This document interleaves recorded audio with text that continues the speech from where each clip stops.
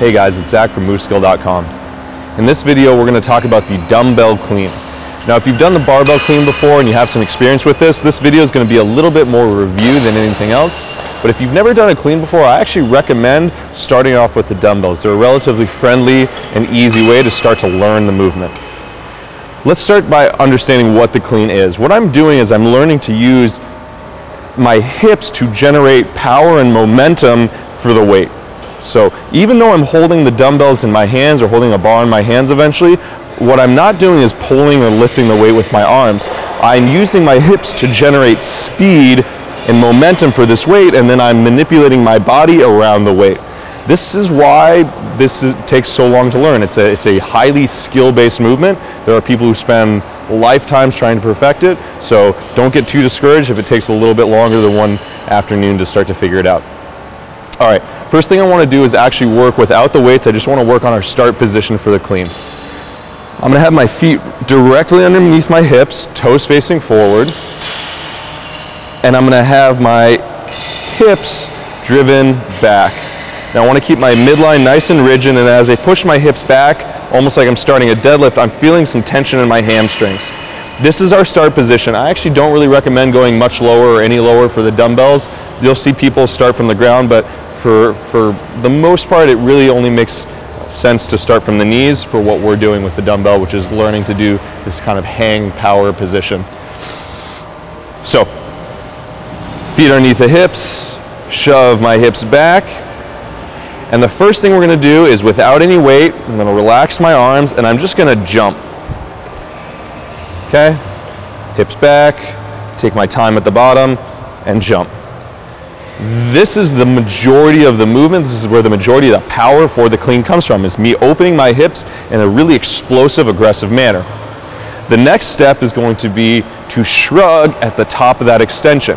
And what I'm gonna try and do this time is not really leave the ground. I'm gonna try and transfer more energy into my shoulders by doing this really aggressive shrug at the top. So you'll notice my feet won't really leave the ground. My heels might, my toes might leave a little bit, but I'm, I'm just kind of popping and coming up. So hips back. I'm going to jump and shrug. And you'll notice I didn't really go up that high, but it was really aggressive and there was a kind of a snap to it. Hips back, jump, and shrug. I want you to pick up your dumbbells and I want you to try this now with the weight. Same idea, jump and shrug.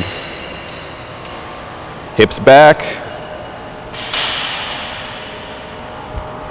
jump and shrug. Keep your elbows loose. I want to see the dumbbells kind of float up next to you.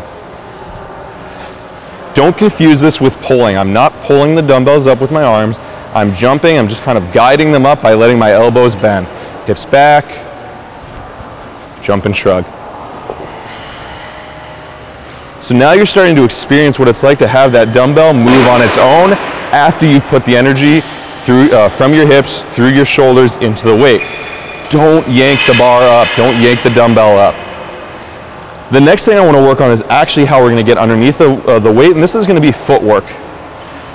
After I've jumped, after I've done this triple extension of ankles, hips, and knees, and I have my shoulders up in my ears, I'm going to need to drop underneath this weight. Okay, and I'm gonna do that by pushing my hips back in a squat position and dropping my feet out, ideally into my squat stance every single time. So, get up on your tiptoes, shoulders in your ears, and drop. Again, on your tiptoes, shoulders in your ears, and drop. And notice what I'm doing. I'm bringing my elbows up as quickly as I can, okay? And by doing that, I'm getting used to pulling myself down underneath the weight. Up nice and high and drop. Okay? Now it's time to put it all together.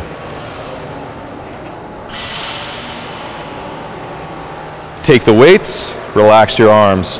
Hips go back. I'm going to jump, shrug, and then drop underneath the weight. Again, hips back, jump, shrug, and drop. At this point, I really recommend videotaping yourself and I want you to look for one specific fault that we see a lot. And this is folks who are way too eager to get underneath the weight, So they end up never opening their hips all the way. Remember, the hips is where we're generating the power. So if you don't open your hips all the way, you're gonna be making up for that most likely in your arms and most likely by curling. So if you notice you're doing a clean and you look kind of short and muted, you never really get tall, th that's what's going on. We'll see this a lot. It kind of looks like this motion. Push the hips back and people just swing the weight up in front and you'll notice I never opened my hips.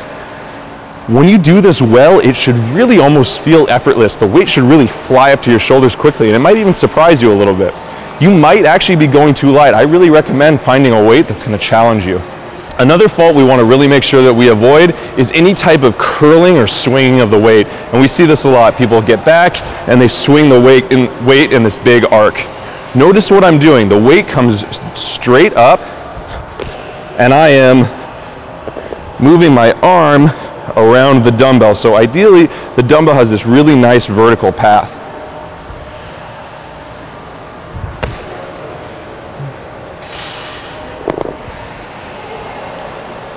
Like everything else that we do here, we really recommend that you take your time with this, work on the fundamental pieces.